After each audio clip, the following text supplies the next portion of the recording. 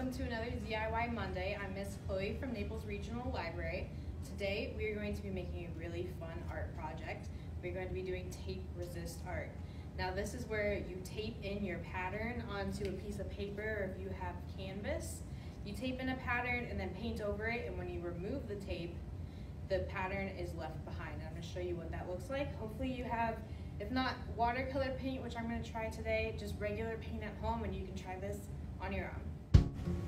So the first thing you're gonna need is some paper. I recommend something heavy duty. I'm using watercolor paper because I have watercolor paints. It's probably not the best format for tape resist art because once it gets wet, the tape does tend to peel a little bit of the paper, but we're gonna give it a shot today. So all you need is some painter's tape and you can tape any design that you want into your paper. I've seen people do their names, different graphic designs, pictures, anything you can think of, let your imagination run wild and do any design that you would like.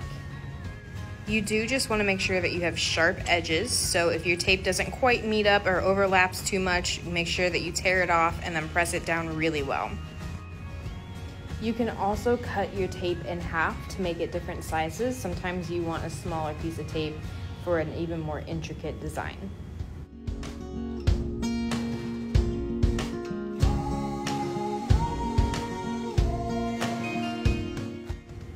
The next thing you're going to want to do is take your paint and your paintbrush.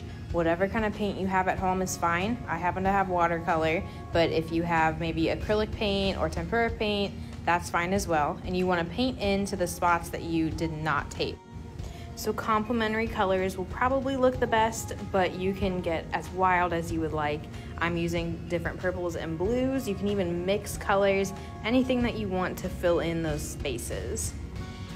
As you can see, you don't have to be super accurate as you're painting. The tape is there to help guide you. So you can paint over the tape, make sure you put a tablecloth down because it does get a little bit messy. And just keep filling in all of those spaces until your entire paper is covered.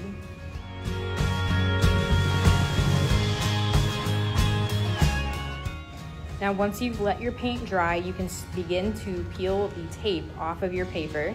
Um, I use watercolor paper, which it does tend to rip a little bit when it gets wet, so I had to be very careful. I think some it added to the distressed look of the painting that I was going for. But if you have canvas or some heavier paper, or you use maybe a different kind of paint, it probably will come right up. So there you have it, your very own tape resist art. I hope you get creative and try it yourself at home.